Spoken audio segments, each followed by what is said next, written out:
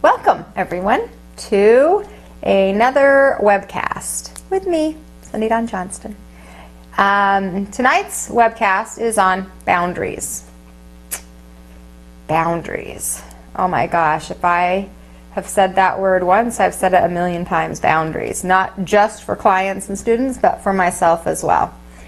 And I think that so often we struggle with boundaries because we feel like we're not being nice, or we feel like we um, aren't being loving, or we feel like it's our job, or it's always been something that we've done, and so people don't really know how to how to say no, how to be able to be um, honoring of themselves, loving themselves, and for a lot of different reasons. But one of the greatest reasons is because that's how we were taught not because you know anybody was bad or anybody was wrong, but because they were teaching what they knew, and we haven't been given the tools, I guess, to learn that from a very young age to take care of ourselves and to honor ourselves and to to to to love us and to not be doormats to other people and to have healthy personal boundaries. So I'm going to begin tonight with um, some questions. And so I'm going to read these questions and I just want you to think about them and how some of them may or may not apply. So maybe you've been working on boundaries for a while. Maybe you have been really focused on how can I um, how can I uh, maintain the boundaries that I create. Maybe you're working on just creating the boundaries and you haven't even gotten to the maintenance part. Um, and maybe you just are very frustrated because you don't know how to be able to hold them. Um, so you're going to be in varying varying places based on you know wherever you are in your life, and that's always changing. So I'm going to read these to you, and I just want you to think about it. So these are ways that you deny your true value or your true self, which weakens those those um, boundaries.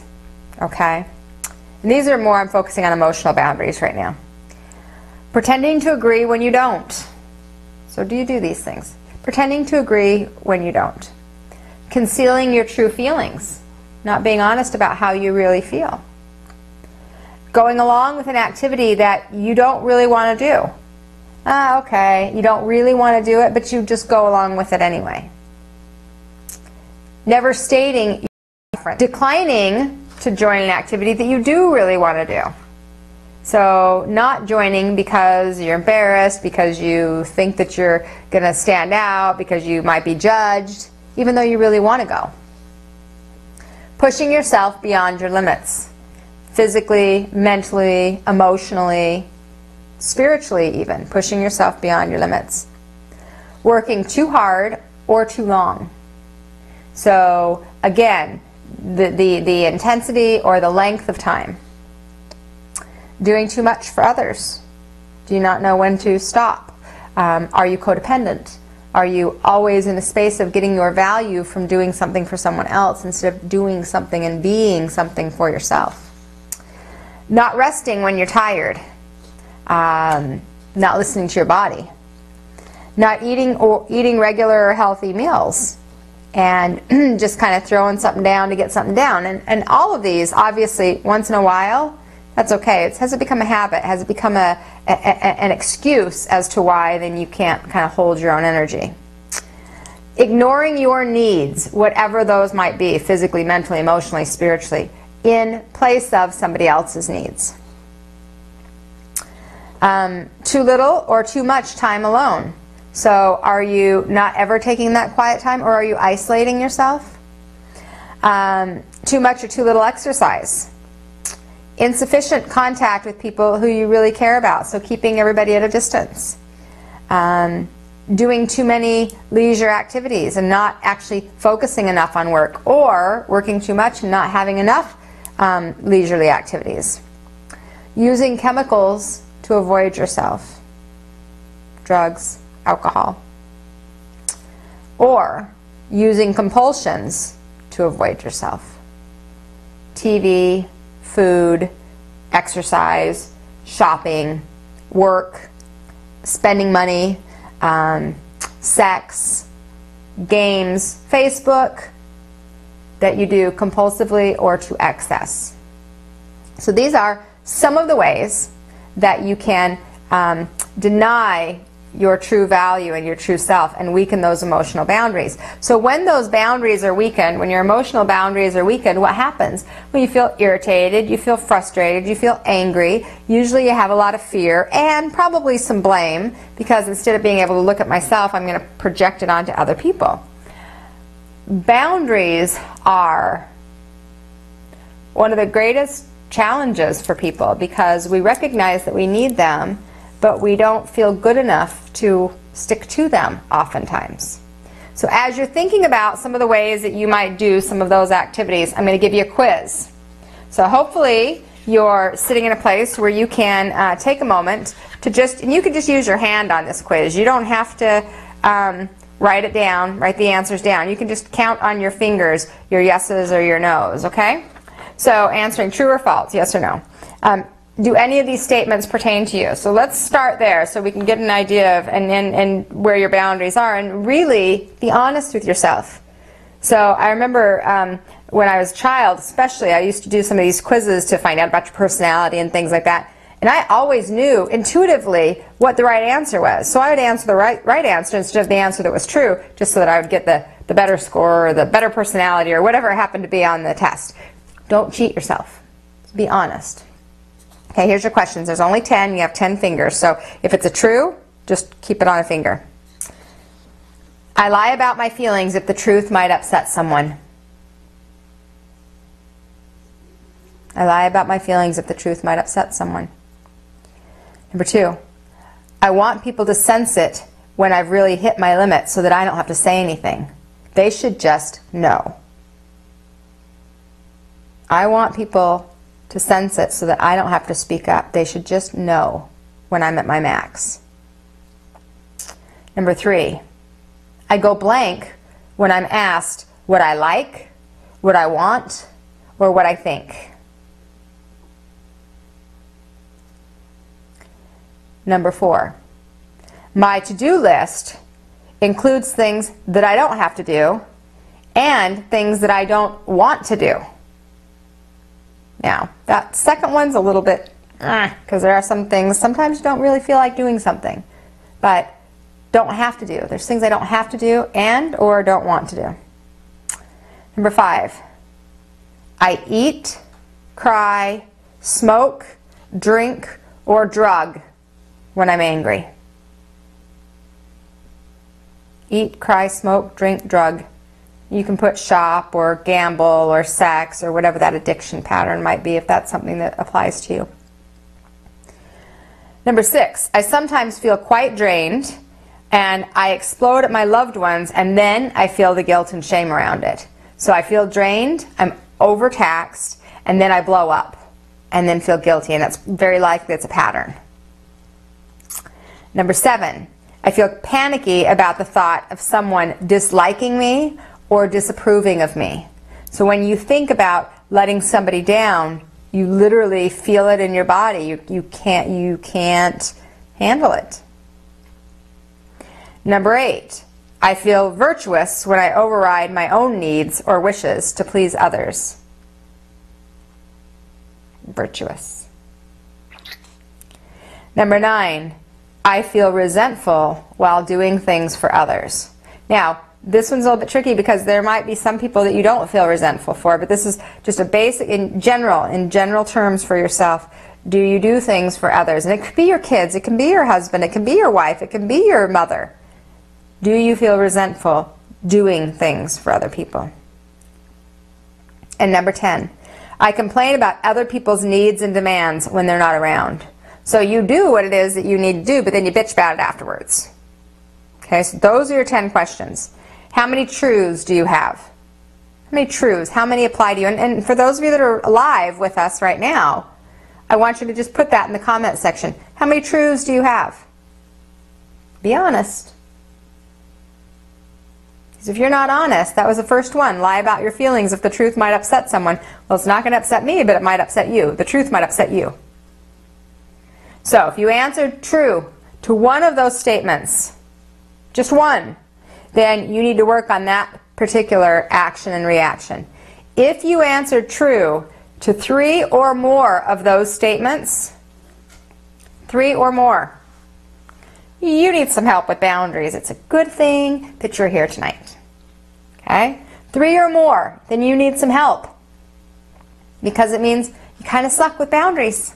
And my sense is that there are a lot of you that kind of suck with boundaries. True? Is that true, Chris? Yeah. So, let's just, I'm going to give you some, some examples from my life about boundaries. And because my, I, I already intuitively can tell that most of you did not just have one or two. So, when we talk about some of those things, you know, one of the ones that kind of stands out to me is um, lie about the feelings that the truth might upset someone. So just kind of let it go. So instead of, of being honest and saying how you feel, you lie to yourself. And what does that do to your vibration? What does that do to your to, to, to, to the, your power when you aren't honest with yourself? Number one, you have to remember your lies then. It's always easier to be honest because then you got to keep track of your lies. But what it does is it takes away from your energy, it takes away from your power, it takes away from your ability to be an equal partnership or an equal friendship or, or, or whatever, whoever it is that we're dealing with when you're not honest. And oftentimes then that goes into blaming. Well, but they this, or they couldn't do that, or I can't tell them because it'll break their heart, or whatever. Honesty is always the best policy, even when it's hard. And there is a loving way to say everything. And going to give you some of those words later on, ways to be able to express how you feel, because that's very, very necessary.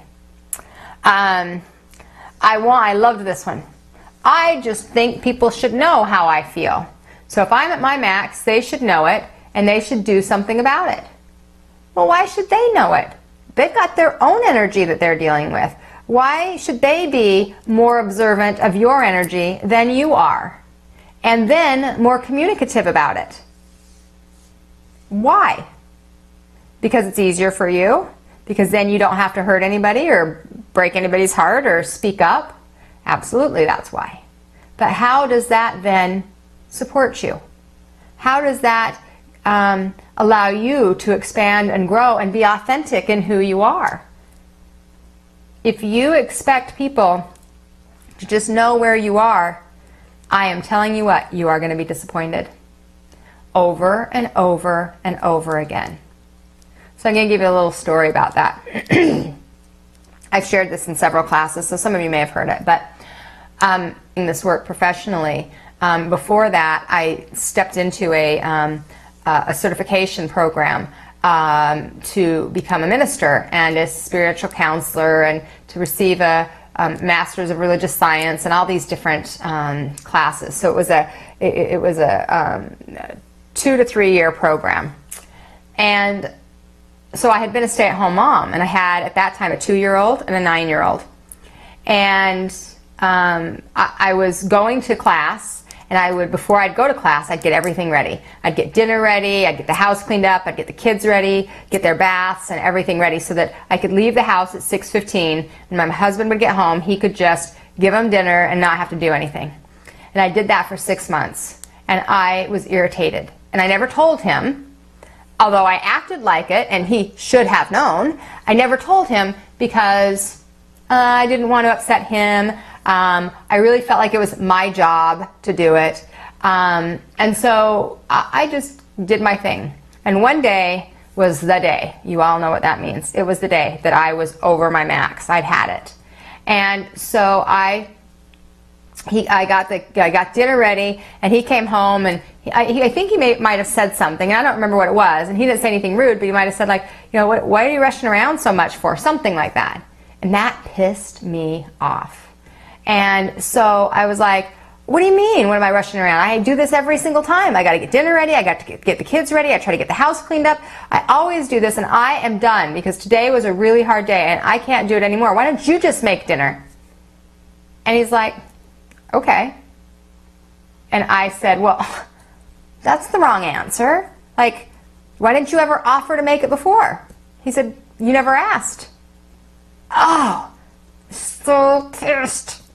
Like, are you kidding me? I never asked. You can't see with your eyes that I'm running around crazy trying to get everything done and just offer, and instead you're going to wait for me to ask? I was really ticked. And then as I sat with it for a little bit, that's exactly what I heard. Is how is he supposed to know if you don't speak up? If you don't have enough value in yourself to ask for help, why should he help you? Huh. There's an idea. So, think about that. Where are the areas that you need help or that you want help but you don't speak up? Don't wait until you're burned out. Don't wait until you're pissed off or angry. Ask now. Don't have an expectation that they're going to. But you can certainly ask and be and ask with an open mind and an open heart. Um, my to-do list includes things that I don't have to do, things that I don't want to do. And this one's a little bit iffy because there are things that we all do that we probably don't really love to do. Um, we might like to do them, or they might be okay, or I just might. There might be things like I got to wash the dog, and maybe you don't love to do that, but you love your dog, so that's a part of that because you chose to have that. Or, you know, you don't really love to do the laundry, but you love to have clothes. Or you love to have clothes on the people that are in your house so that you don't have to see them naked all the time. So I, I would look at it kind of from that perspective. But things that I don't have to do. So let's talk about that have to. What is have to? Is it in my head that I'm responsible for it, but there are other people that could do it, and I've just made myself the responsible one, the one that does everything, the martyr? Or is it I have to because in order to get to here, I need to do this? What I would look at is where the energy is coming from in the have to. You know, I have to um, uh, run my my accounting program so that I can make the deposits for my for my business. Okay, yeah, I, I have to do that, and and and I'm okay with that because the the the the, the the, the blessing and the gift and the abundance that I receive from it is feels good to me, and so that's a have to. But if there's a have to, like, gosh, I ha- I have to make dinner because nobody else can do it, and I have a husband and a 16 year old son. That's not a have to. That's a um, that's always been your role. You see what I'm saying? So, so look at those and really get clear on is that true that you really have to? And some of them it might be, but I bet some of them it's not. You've just made yourself that person. Um, I, li- I like this one. I feel virtuous when I override my own needs or wishes to please others. So when I put myself at the bottom of the list, at the back of the bus, and let everybody else go in front, I feel good about me. Okay. Sometimes it feels good to let to take care of somebody else and to do something for somebody else. But I will guarantee you that if you continue to do that, you have no energy left and you become resentful and angry and bitter and frustrated and all kinds of other things. Because if you're always the one to give and you never receive, then you don't have a way to fill up. So eventually you're going to get empty. And when you get empty, you're going to be irritated. So instead of feeling virtuous about that, you want to look at it as an exchange of energy. There are times when I feel like I want to be on the front of the bus. I want to be on the top of the list. I want to put myself first. And there might be times where it feels it feels true and right and appropriate and in alignment for me to take a step back and help somebody else. But we've been taught, most of us, to make sure everybody else is taken care of first. And I know this isn't a popular answer, but it's the one I will tell you over and over again. That's bullshit. Because if you take care of everybody else first, you will never, ever, ever get to you. There's too many people.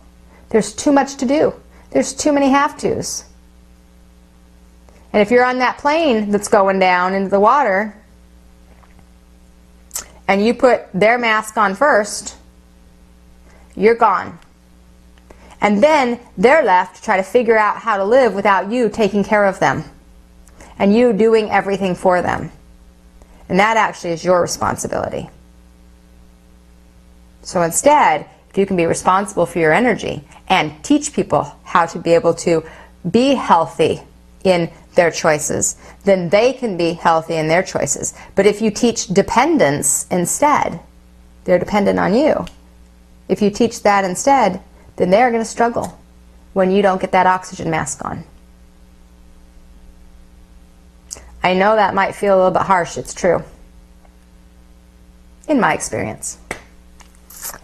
Um, I eat, cry, smoke, drink, have sex, shop, gamble when I'm angry or when I'm sad or depressed. Boundaries. So you're hurting you. Nobody else. Although there's a ripple effect of all of those, certainly. But you are not honoring and loving you. And uh, the last one I'm going to just focus on real quick. I feel panicky at the thought of someone disliking or disapproving of me. So, well, what if they don't like me? well, join the crowd. What if they disapprove of me? Well, join the crowd. That's okay. Does that define you? Does what other people think about you define who you are? So there could be somebody that's watching this tonight, maybe, that disapproves of what I'm saying right now. And that's okay. They have a right to their opinion. But does their disapproval um, does their disapproval make that true? So for the rest of you that are listening, that might be in alignment with some of this message, does their disapproval define that my message isn't right, or that my message isn't true, or that my message isn't good? And if I let their disapproval define that, guess what? We don't have this class. And I will tell you from a very, very young age, um, if I would have let disapproval define who I was, I wouldn't be here. I wouldn't be here. I've had lots of disapproval in my life and a lot of people that have not liked what I've done or said or been. And I'm not saying that all the times that that was happening that they weren't, they didn't have some truth in that. But what I am saying is that you have to find a way to love yourself, trust in where you are, forgive yourself for wherever you've been, and open up to the fact that their opinion is not your business. It just isn't. I did a webcast a couple months ago. Your opinion of me is none of my business. I got t-shirts. I have those t-shirts actually. I still have one or two of them, I think. Your opinion of me is none of my business. It's just saying that my value isn't based on your opinion. My value is based on who I am, and who I am is spirit embodied. The end. Who you are is spirit embodied. So boundaries. Let's come back to boundaries. What are they? Well, there's physical, mental, emotional, and energetic boundaries. Physical boundary is going to be the boundary that this is, you know, this is my skin and I get to choose who can touch it or who can't, or who I want in this physical space, or if my house might be a boundary and I have the door locked. That's a, a boundary for people. So physical. Mental. People are really sloppy with their mental boundaries. What kind of shit do you let in your head?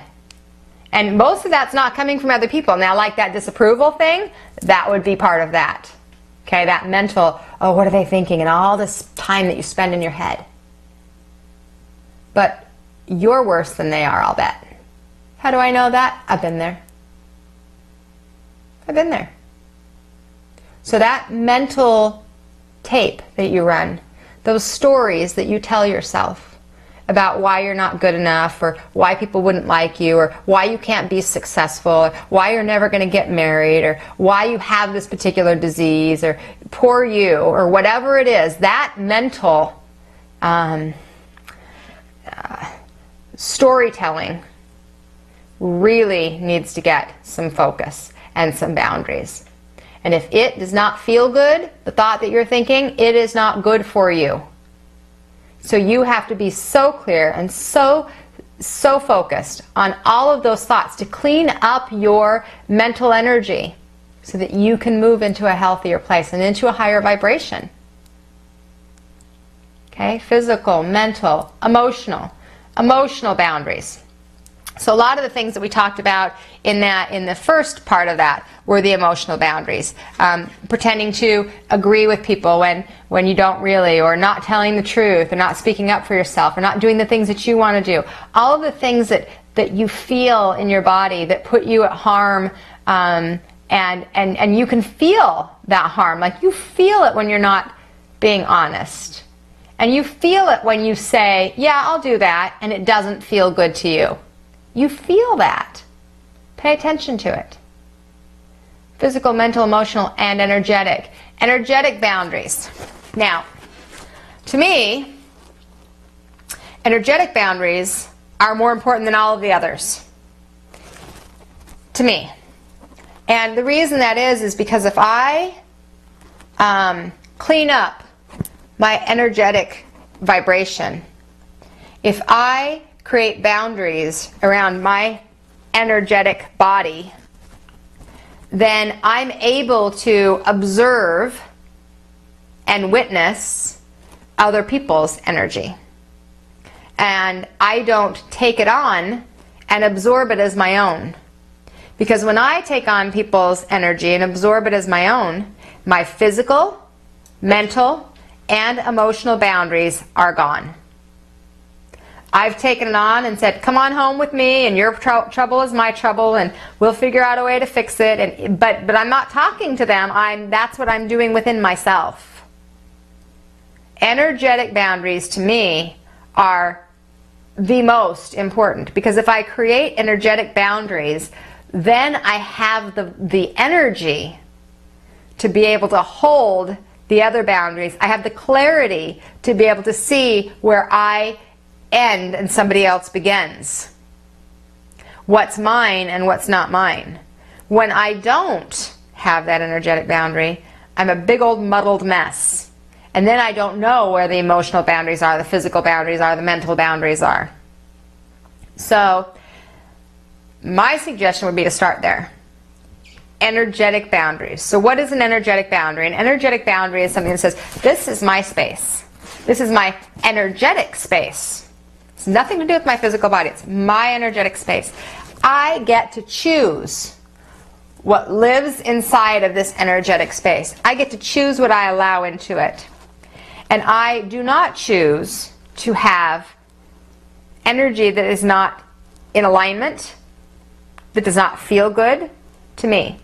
I do not choose to absorb the energy of anybody out here anyone my children, my spouse, my parents, my very best friend. I carry and hold my own energy so that it can be a clear vessel to be able to be of support, loving support to all of these people when I'm full.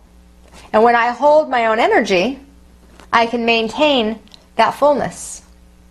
But if I am, on the other hand, sloppy with my energetic boundaries or have none, then I'm giving to this person, I'm giving to this person, I'm giving to this person. I've absorbed their pain, their sadness, their anger, their frustration, sometimes their illness.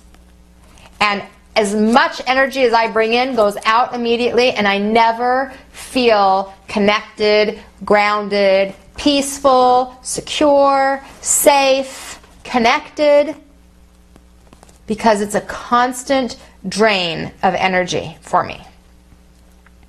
How many of you relate to that?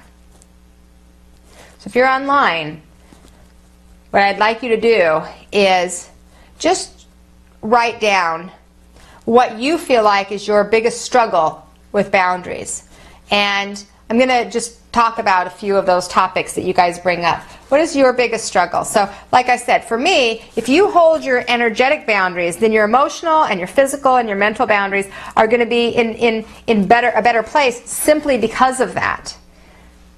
So that's where I would start. It's like instead of putting a band aid on top of things, let's get to the core of it. Let's get to the very, very beginning of it, and then start having the ripple effect of, of, of, of cleaning up my emotional boundaries and cleaning up my physical boundaries and, and, and, and speaking the truth to people.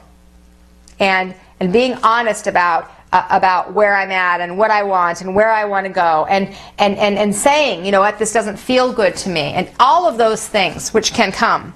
But if I don't have my energy clear, then I don't know if it's your stuff or my stuff. And if, as long as I don't know if it's your stuff or my stuff, I'm going to believe it's all my stuff. And if I believe it's all my stuff, I got a big problem. Because then I can't heal it. I cannot heal your stuff. So if I'm carrying your stuff and I can't heal your stuff, I can only heal my stuff, well, I don't feel like I'm getting better then. I don't feel like I'm getting clearer then. I don't feel like I'm having peace because I'm still carrying your stuff. So let's go to some of the comments, thoughts. We, we have a, a, a question. Um, how do you tell the difference between needing to say no and being compassionate because the other person is doing what they are because they're in pain? Um, the way that you know, that's a really great question. The way that you know that you need to say no versus being compassionate is when it's even a question for you, number one. So if it's a question, I would say it's probably that you need to say no. Um, the other way I would know is what my body says. I'd pay attention to how my body feels. That's always a signal to me. So if my body gets tight and I'm saying yes and my body gets tight, oh, yeah, that was the wrong answer, Sunny. And I do want to talk about that a little bit, so I'll just I'll just go there right now. Saying yes. How many of you say yes to everything? You just, yeah, I can do that. Yeah, I can do that. Yeah, I can do that. Yeah, I can help you. Yeah, I can help you. Oh, yeah, I'll get that. I'll get to that. How many of you say yes to your kids' school and yes to your husband's work and yes to your friends and yes to your family and yes to Thanksgiving and, and so you say yes to all of those things and feel overwhelmed. Now if you say yes and you are excited and you want to do it and you love it and, and it's fun and it's, it feels really good to you and you have the energy to do it, by all means do it. As long as you're not doing it because you feel responsible or you feel like you have to, do it. I say yes to a lot of things. Many of you that are that are clients and students of mine, you know that. You you see what I do. I say yes to a lot of things. My energy doesn't get drained. People ask me all the time, all the time, how do you do everything you do? And the first few times, I mean, people have asked me that, you know, the last 15 years. But especially as I've gotten busier and people will say that, you know, the first few times people ask me, I was like, why do they ask me that? Like, I'm just doing what I do. But what I started to realize was I say yes to the things that feel good. Now, I haven't always been that way. So I understand saying yes out of a place of responsibility and out of a place of guilt and out of a place of, of, of um, poor them. I get it. I, I've been there. What I started realizing, and part of this was because I did get busier, I had to get some priorities. And one of my priorities is if it's not fun, I don't want to do it. If it's not fun, I don't want to do it. Now, my idea of fun and your idea of fun would be very different, I'm sure. I have a lot of things that are fun to me that not everybody thinks are fun. I have fun organizing a closet. I had not my clothes closet though. I don't like organizing my clothes closet, but like my office or my my my um, filing cabinets. I have fun doing accounting. I have fun learning about QuickBooks. I have fun going for a walk. I have fun playing with my my dogs. I have fun um, doing my bills. Like I write thank you very much and put a little peace sign on all of my checks. Like I have fun with so many aspects of my life. I have fun teaching and I have fun speaking, but I'm not going to teach a class that I don't think is fun. Even if the topic might be heavy, like, you know, last week I did a class on guilt and shame. That was a tough topic. But I had fun doing it. It brought me joy because I could see some of the eyes opening and some of the healing occurring. So that to me feels good. And if it feels good, I'll do it. If it doesn't feel good, I'm not willing to lose my energy to do something that I don't have to do. And the truth of the matter is, we all have choices in life. And we may use the excuse that I have to, but it's not always the case. Yes, somebody has to make dinner. It doesn't have to be you. And if you're somebody that's single and you're like, well, kind of, Sunny, it does. Not really. I mean, you do have choices. You could go and get something somewhere to eat. Okay, well, then it's expensive. That's not what we were talking about. What we were talking about is you don't have to do it.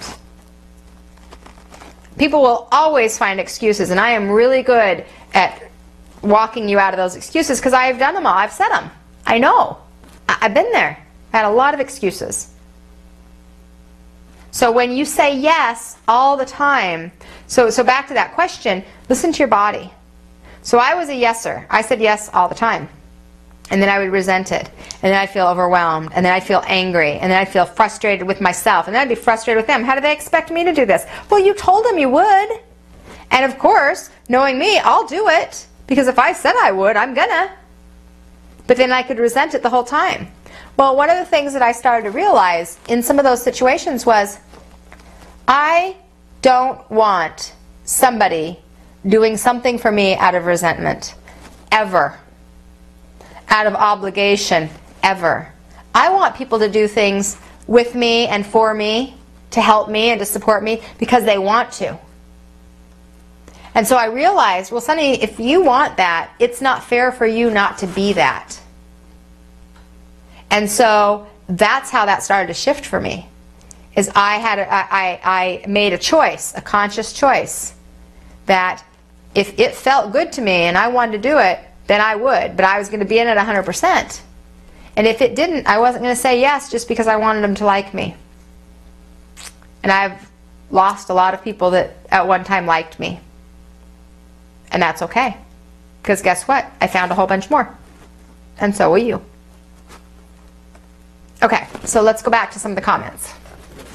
A lot, I'm sure. So we'll just go go through. Pick pick which ones you ever that jump out to you, Chris. Okay, um, the proverbial element, elephant in the room. I absorb the energy of the thing that no one is talking about. I don't know what it is that is not being said and take it personal, thinking it's me. Yeah. Um, okay. Number one, if you know you do that, then you can just cancel out the fact that it's you. So just don't go there. Go, okay, yeah, I know you're I'm going to go to the place where I think it's about me, but you know what? Not everything is about me.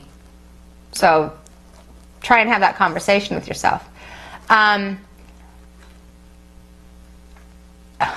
the elephant in the room, I usually talk to. So if there's something that people aren't talking about, I tend to be the one that says, "Well, so what about this? Let's talk about it. Let's get it out. Let's let's communicate about it." And that's not always comfortable for people, and I can't tell you that it's always comfortable for me.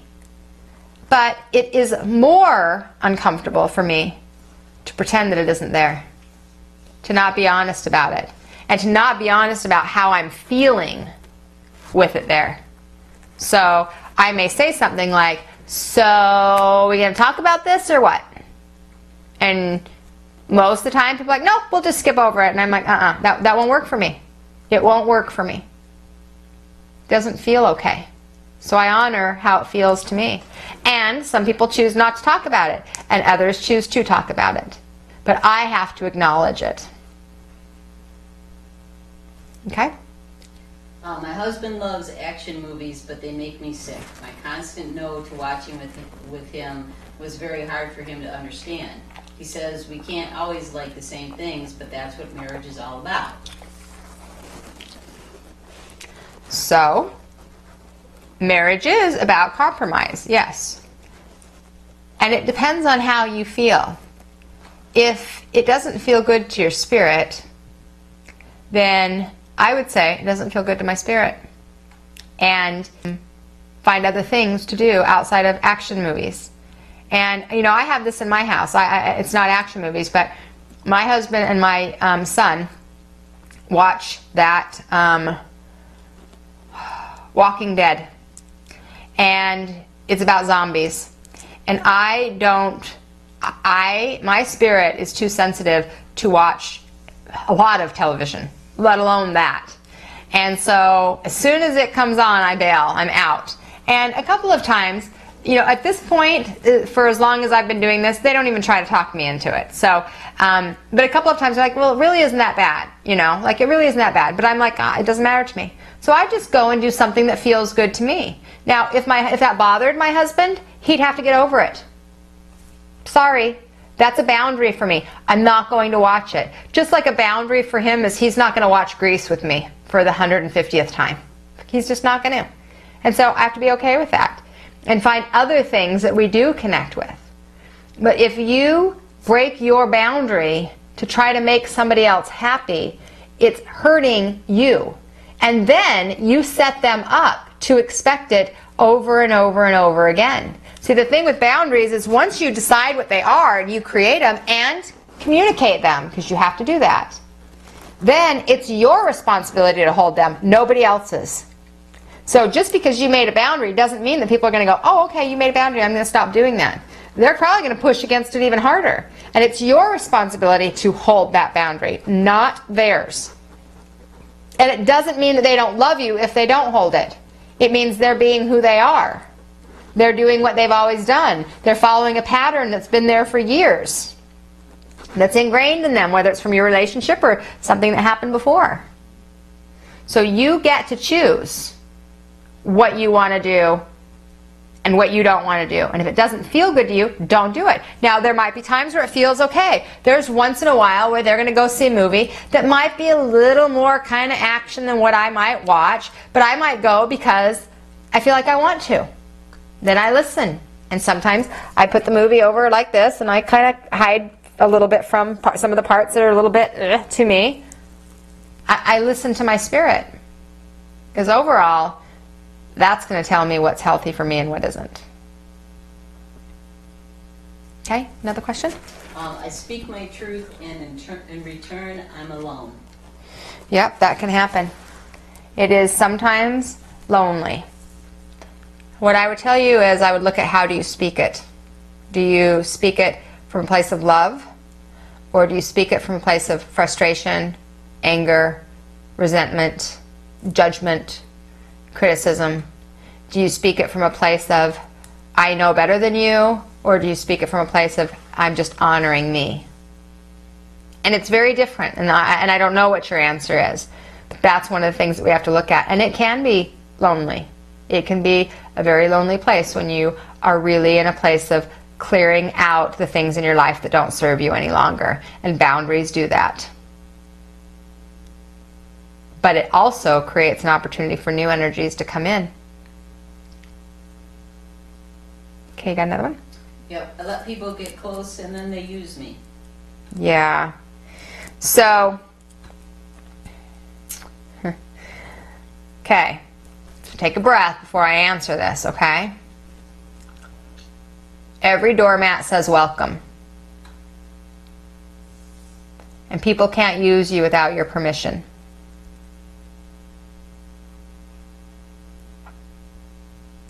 And I think you know that that's true. And we have to get out of the victim role of they're using me and instead say, I allow people to use me. Because in those moments, it feels good to have somebody around, or it feels good to have somebody to spend time with, or it feels like they care. It doesn't mean that they don't care. People that are using people, it doesn't always mean that they don't care there's something that they care about or they wouldn't be there. But sometimes they're there to teach you how to speak up and not be used. You know, a, a, an example of that when I was a teenager and when I was 16, um, for my 16th birthday, my dad bought me a convertible Cavalier, brand new. So it was a 2000 or a 2000. I'm really young. Um, a 1987 um, convertible Cavalier, and it was um, just is a beautiful brand new car. And I had already quit high school. I'd quit high school uh, over a year earlier. Well, about a year earlier.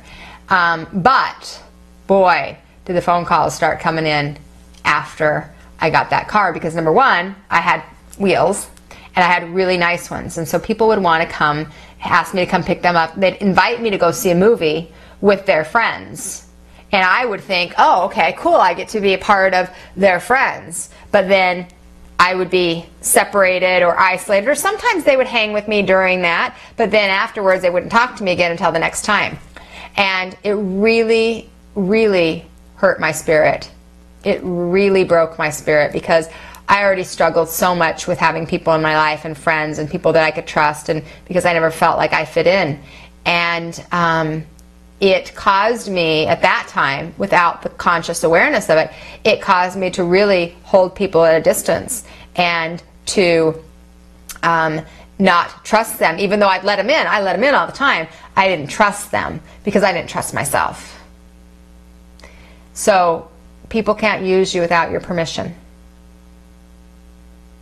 And as soon as you quit giving permission, you will attract a different kind of people.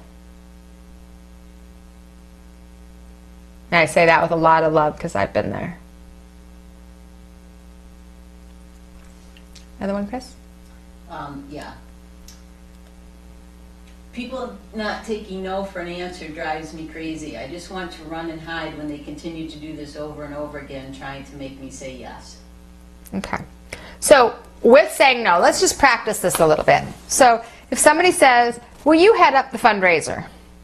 And you don't want to, and you say no. Well, you know what? We really need you. You're so good. You've done it for the last 17 years, and you know how to do it, and you know everybody. Could you just, you know, we'll get you lots of help? No. Um, well, but you know, we're, we're going to be lost. We're not going to have any money. The kids aren't going to be able to eat. Da, da, da, da, whatever the story is. No. Now, what usually happens for people when they start to learn how to say no is they don't actually say no. They say, I can't because blah, blah, blah, blah, blah, blah, blah, blah. And when people hear your blah, blah, blah, blah, blah, blah, blah, blah, they look at the way that they can make that work. Oh, well, if you can't do it on Thursdays, Sunday's fine. Or, oh, well, if you can't be there for the whole time, two hours is okay. Or if you can't be the, the, the, the head of it, you, you can be the assistant. Or if you can't be the president, you can be the treasurer. So when you try to explain why you can't do something, you open the door wider. And then when they do it again, you open the door wider. Your response can be as simple as, that won't work for me. I am really sorry, but that will not work for me. The end.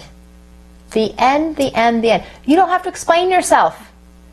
It, nobody has, has, um, th- th- there's no answer that's going to be good enough for someone who really wants you to do something. And believe me, I know, I've had a lot of people try to talk me into a lot of stuff. I'm sure many of you have. And they'll find a way if you if you give them that doorway. Shut the door. The other way, for those of you that don't want to say no, you're like, man, I don't know, maybe I do, I don't know. And say, you know what, let me think about that for a few days. Or I always say, you know what, I want to meditate on it. And I do meditate on it, and then I'll get back with them. Because if I don't feel completely clear when they ask, which most of the time I do, but if I don't feel completely clear when they ask, I meditate on it. I had a situation happen a couple months ago eh, that somebody came to me and asked me to do something. I couldn't get clear on it. I meditated on it for two weeks. And I got clear on it. And then I called them and gave them my answer. So you can do that. But if you really know you don't want to do it, then I am so sorry, but that is just not going to work for me. Done. That's the way I would say it. That just won't work for me. And if, if you want to say, you know what, it doesn't feel right to me, say that. Whatever language you want to use. But don't open the door, well, because my son's coming home and I don't want to miss. Oh, well, we'll do it the next day. Don't explain yourself. Okay? Okay, let's do one more, Chris. Um, not being true with what I want, not speaking my truth. Yeah, that's a tough one. Not being true with what you want. A lot of times that's because you're scared that you're going to be judged. Um, you're afraid that you're not going to get it. And um, you don't feel worthy of it. Those are the three things that stand out to me. There could be others, but those are the three that stand out to me. And so first thing, the work, then really is um, for you to get into a vibrational space that allows you to see from a higher perspective, that allows you to know your value and your worth, um, that gives you an opportunity to be in an energy within yourself of recognizing who you really are. You are spirit embodied, and you, in your spirit, are equal to me, or you in your body are equal to me in my body. So, if you're watching right now, whatever body you're in, wherever you are, we could trade. And we'd still be the same, meaning we're equal. There's no difference. Your spirit is embodied in the body that you chose, believe it or not, and my spirit is embodied. The spirit within us is of equal value. It's of equal value. So my spirit could go jump on your body and it has the same value over there as it has here. Or it could jump into so and so's body and it has the same value there that it has here. But we don't look at that. We look at value based on the external. Based on how we look and how much money we have and if we have the 2.2 kids and if we have the house and if we're 115 pounds and blah blah blah blah blah blah. That's all bullshit. That's not where the value the value is never about the external. It's always about the internal. Always always always. So you have the same value. So you are worthy so you do deserve simply because you're here and when you can't share what it is you really want, it's usually because you're afraid you don't deserve it or you're not going to get it. And when you're in a place to not share what you want, you're not going to get it. Okay, you're not going to get it because if you don't attract, if you if you can't own that energy, you can't bring it to you. You can't attract it to you. So you have to get out of your own way. Love yourself enough. Know that you are worthy. We have the same energy within us. So if I can create what I've created, you can create whatever you want to create. you know, Julian Lennon created what he wanted to create. Um, Elvis created what he wanted to create. Um, Oprah creates what she wants to create. Every one of us has the same amount of spirit within us that has the capacity to create all, everything that you ever desired. It isn't that, oh, one body got more than the other. They didn't. They didn't. Okay, I feel like I need to do one more, Chris. I care for my child with a disability. It takes a lot of my energy and can be very overwhelming. How do you balance your energy when you have such a large responsibility? That's a great question. And I think a lot of people, you know, I, I haven't ever had a child that ha- has had a major disability like that. Um, I've had a child that's had some some quote unquote disabilities, but not to that extent. But I think a lot of people could put different words in there and they would feel the same. So so your question was how do you balance your life when you have such a major responsibility? Well, I think that a lot of people um, would say that I have a major responsibility in, in, in, my work environment, in, in, in having to go to work every day and, and, and keep a household running, men or women.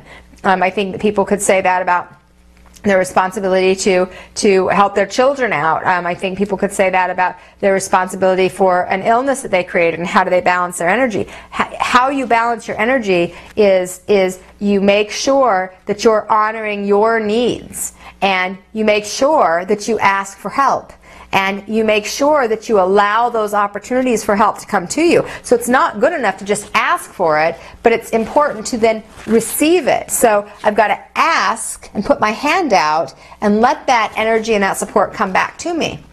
If I just ask, but I keep myself closed like this, then it can't come to me. It won't come to me.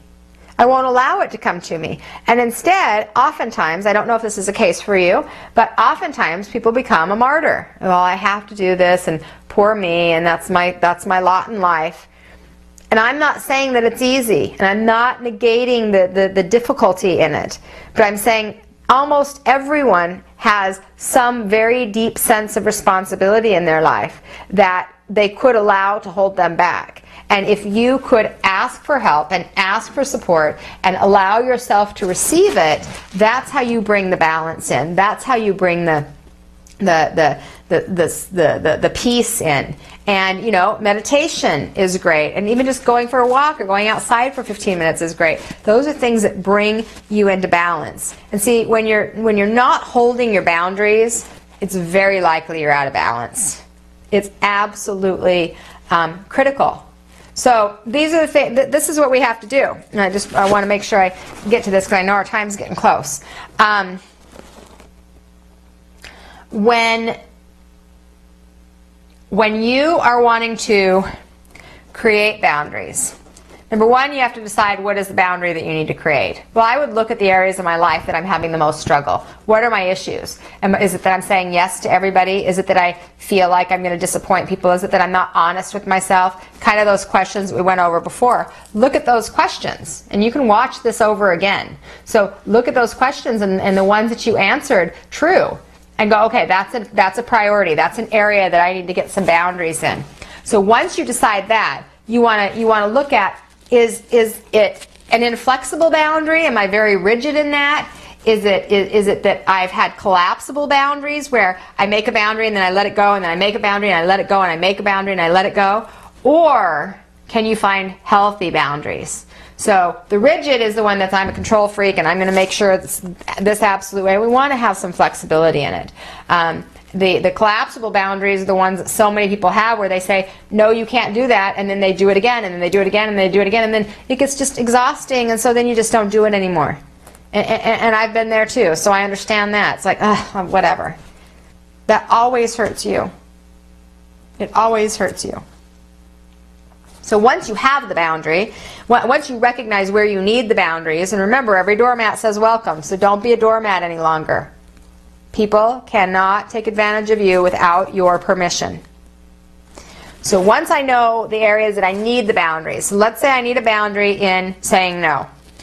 Um, then I have to look at okay that this is an issue for me. So what is my response going to be? How am I going to handle that? And so my response might be, you know, that's not going to work for me or that doesn't feel right for me right now. And then I'm going to practice that, continuously practice that. And then, this is the challenge, is when people push against that.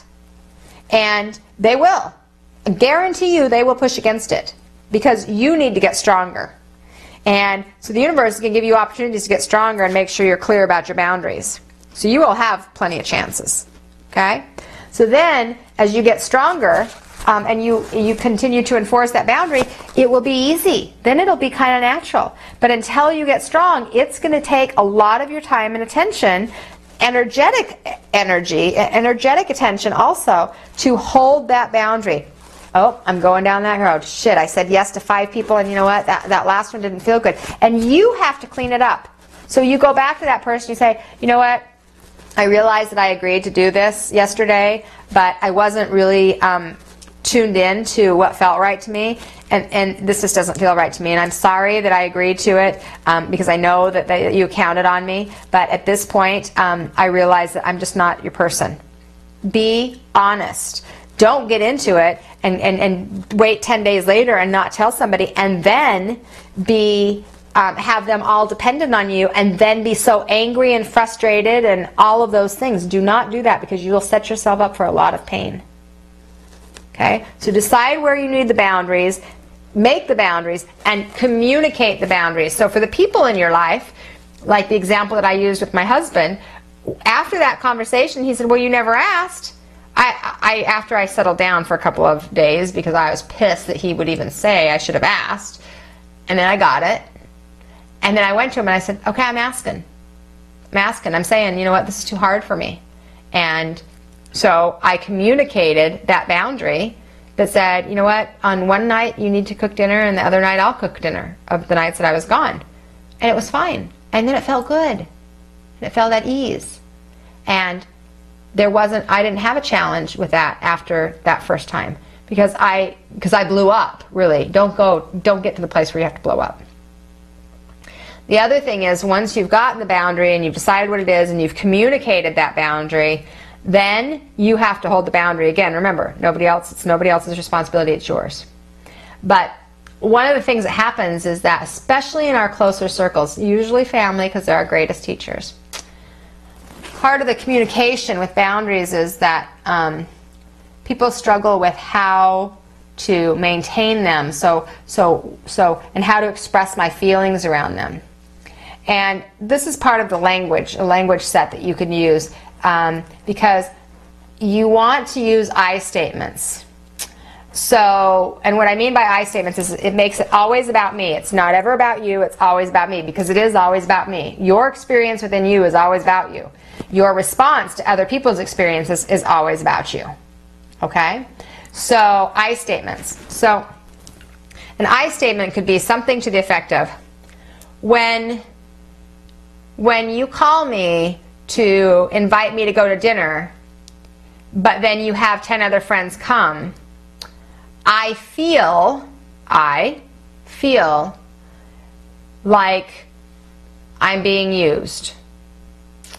And what I really would like to experience is a time where maybe we go out to dinner on our own.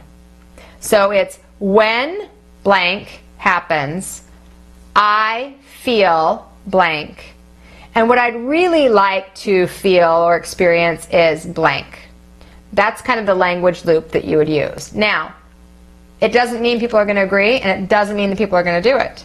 But what it means is I'm setting it up and I'm communicating clearly what it is that I feel I need right now. And some people will hear that and some people won't. And some people will follow it and some people won't. Don't have expectation that they have to follow it. Have an expectation that you're going to hold your ground. So if that didn't happen, then mm, I'm not going to choose to go out to dinner. It's not a threat. It's saying, I, I get to choose how to spend my energy, and if it doesn't feel good to me, I don't want to do it. Remember, you deserve to feel good. Boundaries are a beautiful thing if they're communicated and if they're maintained. If they're not communicated and not maintained, they make a great big mess. Okay? So when you think about boundaries, look at your life. Where are the areas that you know you need help with this? And then get clear about it and get focused on what you can do because you are responsible for your energy. Nobody is doing anything to you. I know people don't like to hear that. I was in a victim role and a martyr role for many years. I get how we get uh, how we're there, but nobody's doing anything to you without your permission. So choose something different and communicate it. And then, if they don't follow the boundary, then maintain that boundary. You know what? And if this doesn't happen, you know, if you continue to beat me, I am going to leave. And if they put one more hand up, leave. That's the boundary, right? My boundary when, when my son uh, was born, that those first couple years, my boundary that I broke probably 50 times was if you keep drinking, I'm going to leave. If you keep drinking, I'm going to leave. If you keep drinking, I'm going to. That was our fight freaking every single day. How many of you have done that? You say it because you're frustrated, you say it because you're angry, and you really mean it, but you don't really mean it. So, my boyfriend at the time, that, it went in one ear and out the other. By the time I said it the 30th time, I was like, yeah, that's just like part of her language. She just says that. Guess what? One day I meant it. Now, I didn't enforce it many of those times. Sometimes I moved out for a couple days here or there, once in a while. But one day came.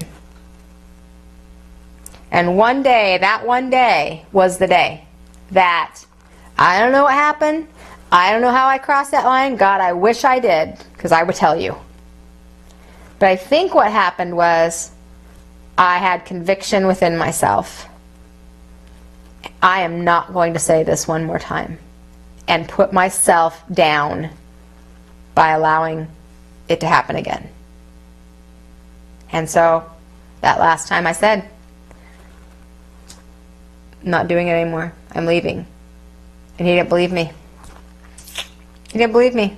And I moved out while he was gone into a house. Didn't talk to him for a few few days. And then, I'll be damned, he found me. Actually, I found him. Actually, I found him. Actually, I created the boundary. I said, I'm done. You won't quit drinking. I'm not doing this anymore. I moved out. I found a house. I had no money. I was on welfare and food stamps and just trying to make barely live. I found a house. I lived there for five days, and he never came to find me. He never even looked for me. He was on a five day drunken spree and never even knew I left. I was so pissed. How can I take my son and all of my shit out of our shack house and you don't notice I'm gone? He never had come home. And so that made me mad, so I went in search of him to let him know that I'd left.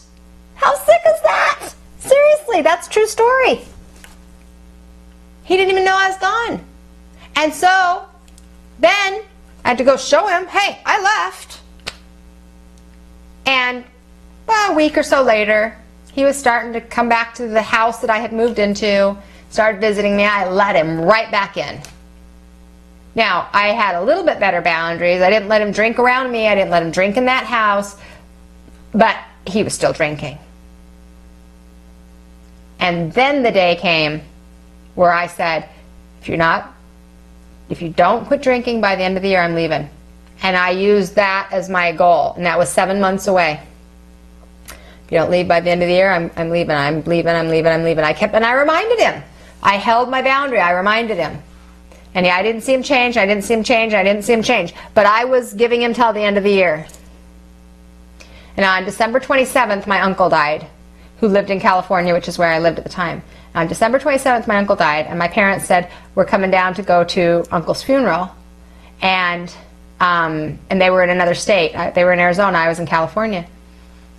And December 27th, December 31st, four days difference. I said, Bring the truck. And I made sure that I said that out loud to several people. I'm leaving, I packed up my stuff so that I would be accountable for myself. That was my boundary. And I left. And it was one of the hardest things I did ever in my life. And one of the best. I did not ever cry another tear over that situation. I cried them over the fact that my son would miss his dad or not know his his dad, which is his birth father. Um, I cried over a lot of different things, but I never cried again over the fact that I didn't love myself enough to do something different. Not one more tear. And you can all do the same. I believe in you. So, I know I'm over. I'm out of my time. Um, I want to make a couple of announcements. The next um, webcast is December something. Do you know, Chris? I'll look for you. Okay, thank you. I'll tell you in a minute. Um, and what I would love for all of you to do is every at the end of every webcast, I try to give you some kind of a special offer, and then I always ask if you would um, help us share this message. I do these things for free. Um, I've done them this entire year. I just this afternoon was thinking I got to see what I'm going to roll out for next year. The webcasts are, I know they've been of value to a lot of people. I've heard some really great comments. What I would love for you to do, if you gained something from this webcast tonight, one thing I'd love you to do is share it with people. You know, whether you share it on Facebook, share it with your friends, email, whatever. The other thing I'd love for you to do is to go to my fan page and or my personal page and tell me one thing that you learned today. One thing that you learned about boundaries that maybe you're going to do differently or that's going to help support you in your boundaries or um, some little nugget of information because I, I do read those and um, I like to hear and, and, and, and get a sense of kind of what's clicking for all of you because I don't get to be on the side where, you know, Chris is reading all of the um, uh, messages that you guys are writing. I don't get to see all those, but I love to hear the things that really kind of stand out for you. So I would love for you to share those with me if you would. And for those of you that are watching after um, our live event, um, still, you can do the same thing. I would love to see those. Uh, and then finally, the um, the special offer for tonight is, uh, and, and, I don't have the one with me, but um, some of you know that I have uh, SD Jewelry. It's a, a, jewelry line that is designed by um, that's designed by uh, Tara Jack. This is the Archangel Jophiel um, piece, and it's a citrine um, stone with a Swarovski crystal. And uh, so, what I thought would be a gift that, that I could give you a discount on tonight is the Archangel Michael one. So, the Archangel Michael one is blue. um, lapis, and it's a clear crystal, um, Swarovski crystal wing. And so the reason I'm offering him is because Archangel Michael is the angel of protection, helps us to maintain, protect our own boundaries. And uh, so I thought that might be a good reminder for some of you. So we have a special offer in the store. If you go to my website and you go on the boutique, uh, go into the boutique, um, the code word is boundaries and it's five dollars off the bracelet. They're forty-four dollars, um, so it saves you five bucks, and might be just a great reminder, especially if you've been, you know, enjoy the jewelry, um, to to to kind of set an intention that okay, I, I need to hold my boundaries, and so you know, like that's why I wear um, my bracelets specifically. I wear different ones at different times for different reasons, um, and so Michael is is the one that we would that would we would call in for that. Um, so the coupon code is boundaries if you go into the into the um, into the boutique. Um, and the next December 18th, so it's a week before Christmas, and the topic is do you know? I don't even remember what the topic is. I what is- I thought that I knew what the topic was, and then I started What is thinking, love? what is love? What is love? That's the topic. So we're going to be talking about love and all kinds of love. And finally, last but not least, because I have your attention, every year we have a um, Christmas party fundraiser.